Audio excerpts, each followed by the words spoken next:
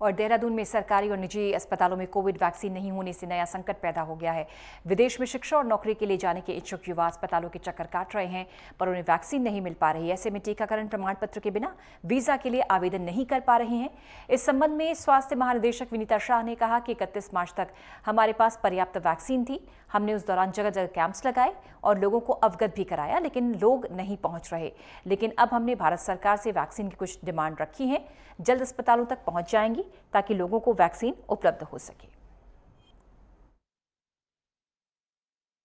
इकतीस मार्च तक हमारे पास सफिशिएंट वैक्सीन थी और हमने बार बार अनुरोध किया कैंप लगाया, लेकिन कुछ लोग नहीं आए हमारे पास।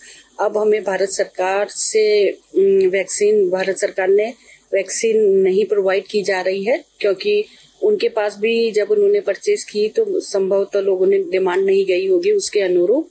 और कंपनी को हमने कांटेक्ट किया तो उन्होंने कहा कि हम अब इसका प्रोडक्शन नहीं कर रहे हैं। लेकिन फिर भी हमने गवर्नमेंट ऑफ़ इंडिया से कोरबावैक्स की कुछ डिमांड की है। तो आने वाले समय पे जैसे ही हमें प्राप्त होगा तो हम इनको प्रोवाइड कर दें